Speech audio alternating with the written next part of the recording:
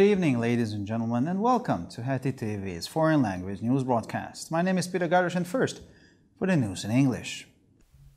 Almost 7,000 people fleeing the war from the Ukraine have so far been accommodated by the National Disaster Management Directorate General, or OKF, said the organization. It also said it has been involved in organizing the travel, accommodation, and care of people fleeing the Ukraine since the start of the war in the neighboring country, says the statement. The exemption from road tolls for international aid consignments passing through Hungary is also being fixed. Almost 1,500 aid consignments have been exempted from toll since the start of the war, they added. They said that the Disaster Management Service, in cooperation with the capital and county protection committees, had so far provided shelter for a total of 6,865 people, including 3,695 children and 2,115 women. A terrorist attack took place in the Israeli city of Beersheba. The attacker first stabbed a 40 year old woman to death at a petrol station in the town and got into his car and ran over a cyclist. He later got out again and stabbed several people in the BIG shopping center. The terrorist was confronted by an armed bus driver who tried to get him to put down the gun. The attacker instead lunged at the driver, who fired at him along with another armed man. The knife man died of his injuries, according to witnesses. Five other victims of the attack were taken to hospital, but the cyclist and the other victims of the stabbing died of their injuries. On Tuesday, Prime Minister Naftali Bennett met with Egyptian President Abdel Fattah al-Sisi and Crown Prince Mohammed bin Zayed of the United Arab Emirates in Sharm el-Sheikh. The leaders discussed relations between the three countries and ways to strengthen them at all levels. According to the Egyptian Presidential Office, the meeting discussed the war in Ukraine and its impact on the energy market, the world economy, and world food supplies. Bennett and the Crown Prince of the Emirates arrived in Egypt on Monday to attend the first trilateral summit of its kind. Prime Minister Bennett spent the night in Sharm el Sheikh. It was the first time an Israeli Prime Minister had slept on Egyptian soil in more than 20 years. Experts hailed the meeting as a significant and unprecedented development and a new diplomatic milestone in the implementation of the Abraham Accords. One diplomatic source said Bennett went to Egypt to help with a number of issues against the backdrop of the war in Ukraine. The summit is part of an effort to build a US backed coalition between countries previously seen as enemies of Israel, including Egypt, the Gulf states, and Turkey, which are particularly united against Iran. Former Israeli Prime Minister Benjamin Netanyahu warned against President Joe Biden's efforts to renew the Iranian nuclear deal, calling the deal disastrous and an extremely dangerous development. It would be a catastrophic event for a terrorist, evil regime to have a nuclear weapon, the most dangerous development we can imagine in the world. That is exactly where this deal leads us, said Netanyahu. And finally, for the weather, sunny, dry weather continues on Thursday. Mornings will be cold again, though, with more frost possible in some areas. During the day, high temperatures will range between 18 and a pleasant 22 degrees Celsius. For further news, please visit our websites at www.hetitv.com or broadpress.com. Thank you for your attention so much for the news in English, and now for the news in German.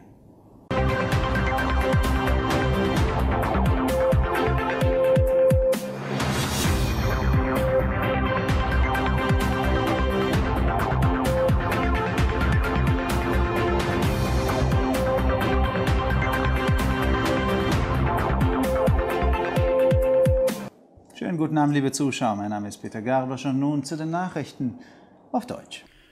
Fast 7000 Menschen, die vor dem Krieg aus der Ukraine geflohen sind, wurden bisher von der Nationalen Katastrophenschutzgeneraldirektion oder OKF untergebracht, so die Organisation, die seit Beginn des Krieges im Nachbarland an der Organisation des Transports, Unterbringung und Versorgung von Menschen, die aus der Ukraine fliehen, beteiligt ist, heißt es in der Erklärung.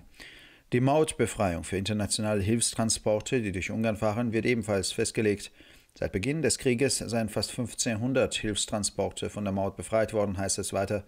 Der Katastrophenschutzdienst habe in Zusammenarbeit mit den Schutzkomitees der Hauptstadt und der Komitate bisher insgesamt 6.865 Menschen, darunter 3.695 Kinder und 2.115 Frauen untergebracht.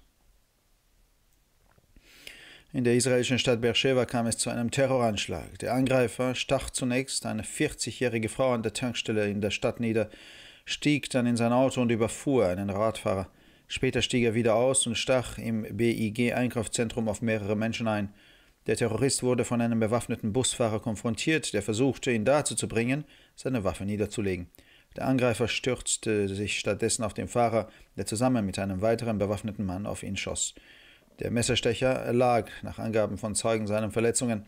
Fünf weitere Opfer des Angriffes wurden ins Krankenhaus gebracht, aber der Radfahrer und die anderen Opfer der Messerstecherei erlagen ihren Verletzungen. Am Dienstag traf Premierminister Naftali Bennett in Sharm el-Sheikh mit dem ägyptischen Präsidenten Abdel Fattah al-Sisi und dem Kronprinzen Mohammed bin Zayed der Vereinigten Arabischen Emirate zusammen. Die Staatsoberhäupter erörterten die Beziehungen zwischen den drei Ländern und die Möglichkeiten, diese auf alle Ebenen zu stärken. Nach Angaben des ägyptischen Präsidialamtes wurden bei dem Treffen auch der Krieg in der Ukraine und seine Auswirkungen auf den Energiemarkt, die Weltwirtschaft und die weltweite Nahrungsmittelversorgung erörtert. Bennett und der Kronprinz der Emirate trafen am Montag in Ägypten ein, um an dem ersten trilateralen Treffen dieser Art teilzunehmen. Premierminister Bennett verbrachte die Nacht in Sharm el-Sheikh es war das erste Mal seit mehr als 20 Jahren, dass ein israelischer Premierminister auf ägyptischem Boden übernachtet hat. Experten begrüßen das Treffen als eine bedeutende und beispiellose Entwicklung und einen neuen diplomatischen Meilenstein bei der Umsetzung des Abraham-Abkommens. Eine diplomatische Quelle sagte, Bennett sei nach Ägypten gereist, um vor dem Hintergrund des Krieges in der Ukraine bei einer Reihe von Fragen zu helfen. Das Gipfeltreffen ist Teil der Bemühungen um den Aufbau einer von den USA unterstützten Koalition zwischen Ländern die bisher als Feinde Israels galten, darunter Ägypten, die Golfstaaten und die Türkei, und die sich vor allem gegen den Iran einig sind.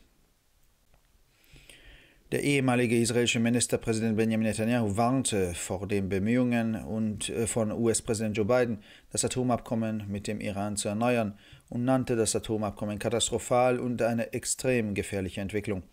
Es wäre eine katastrophale Entwicklung, wenn ein terroristisches, böses Regime in den Besitz von Atomwaffen käme, die gefährlichste Entwicklung, die wir uns auf der Welt vorstellen können. Genau dorthin führt dieses Abkommen, sagte Netanyahu. Und schließlich zum Wetter. Das sonnige, trockene Wetter setzt sich am Donnerstag fort. Am Morgen wird es wieder kalt und in einigen Gebieten ist weiterer Frost möglich. Tagsüber liegen die Höchsttemperaturen zwischen 18 und 22 Grad Celsius. Für weitere Nachrichten besichtigen Sie bitte unsere Webseiten www.ttv.com sowie www.breuerpress.com.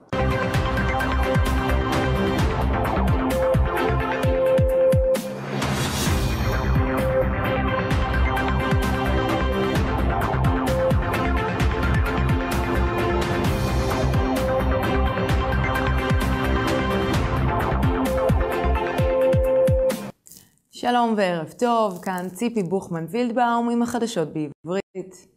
כמעט 7,000 בני אדם שנמלטו מהמלחמה באוקראינה קיבלו מחסה עד כה על ידי הדירקטוריון הלאומי לניהול אסונות. הארגון היה מעורב בארגון הנסיעות, הלינה והטיפול באנשים הנמלטים מאוקראינה מאז תחילת המלחמה, כך נכתב בהודעה. כמו כן נרשם הפטור מאגרה עבור משלוחי סיוע בינלאומיים העוברים דרך הונגריה. כמעט 1,500 משלוחי סיוע קיבלו פטור מאגרה מאז תחילת המלחמה. הדירקטוריון לניהול אסונות בשיתוף ועדות הביטחון של הבירה והמחוז אירחו עד כה בסך הכל 6,860 365 איש, ביניהם 3,695 ילדים ו-2,115 נשים. פיגוע טרור אירע בבאר שבע ישראל, המחבל הרג תחילה אישה בת 40 עם סכין בתחנת דלק בעיר, לאחר מכן נכנס לרכבו ודרס רוכב אופניים. מאוחר יותר הוא יצא שוב ותקף מספר אנשים עם סכין בקניון ביג. המחבל התעמת עם נהג אוטובוס חמוש שניסה לגרום לו להניח את נשקו. התוקף תקף את הנהג שירה בו יחד עם חמוש נוסף. לפי ידי ראייה המחבל מת מפצעיו. חמישה פצועים נוספים נלקחו לבית החולים, אך שאר הקורבנות כמו רוכב האופניים ואלה שהותקפו עם סכין מתו se ראש הממשלה נפתלי בנט נפגש ביום שלישי בשארם א-שייח עם נשיא מצרים עבד אל פתח א-סיסי ויורש העצר של איחוד האמירויות מוחמד בן זאיד. המנהיגים דנו ביחסים בין שלוש המדינות ובדרכים לחזק אותם בכל הרמות.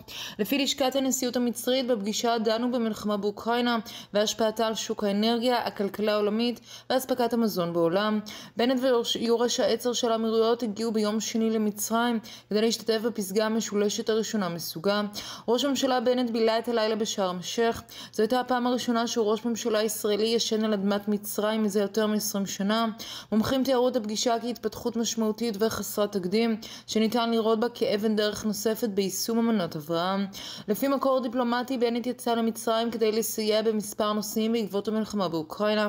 הפסגה היא חלק ממאמץ ליצור קואליציה בתמיכת ארצות הברית בין מדינות שנראו בעבר כאויבות של ישראל, ביניהם מצרים, מדינות המפרץ וטורקיה, שהתאגדו במיוחד במיוחד נגד איראן. ראש ממשלת ישראל לשעבר בנימין נתניהו הזהיר את הנשיא ג'ו ביידן ממאמציו לשקם את הסכם הגרעין עם איראן וכינה את ההסכם קטסטרופלי והתפתחות מסוכנת ביותר. זאת תהיה התפתחות קטסטרופלית להרשות למשטר טרור מרושע לפתח נשק גרעיני, ההתפתחות המסוכנת ביותר בעולם שאנו יכולים לדמיין. העסקה הזו מובילה בדיוק לכך, כך אמר נתניהו. ועכשיו נעבור תחזית מזג האוויר. מזג האוויר הבהיר והיבש ימשיך ביום חמישי. בבוקר שוב יהיה קר, צפוי מעט כפור. במהלך היום הטמפרטורות חזויות לעלות ל-18 עד 22 מעלות. לחדשות נוספות, אנא בקרו באתרי האינטרנט שלנו, etitv.com או broyerpress.com. עד כאן החדשות, תודה שהייתם איתנו ושיהיה המשך ערב נעים.